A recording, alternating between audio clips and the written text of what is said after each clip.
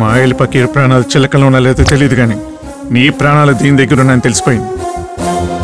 నమ్మకం లేని చోట ప్రేమ ఉండదు. ప్రేమ లేని చోట నేను ఉండలేను.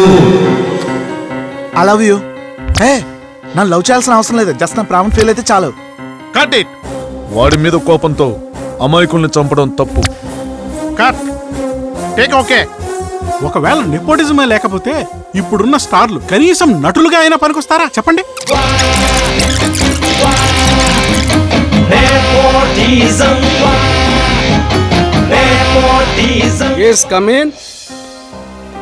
నా పేరు అర్జున్.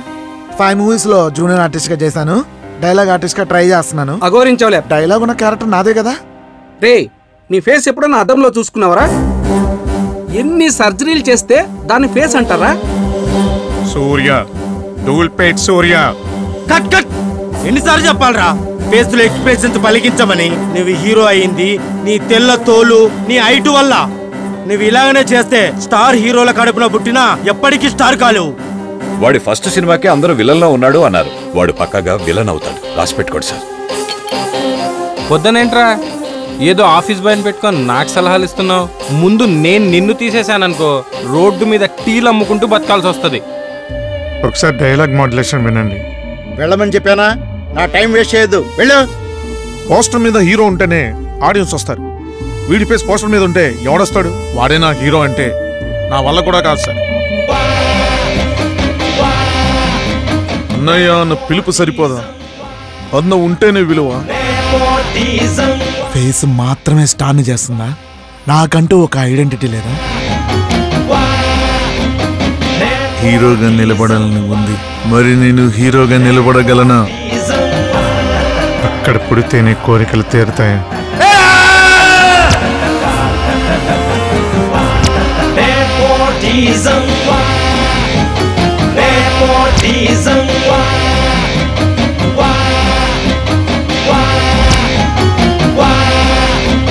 Nepotism.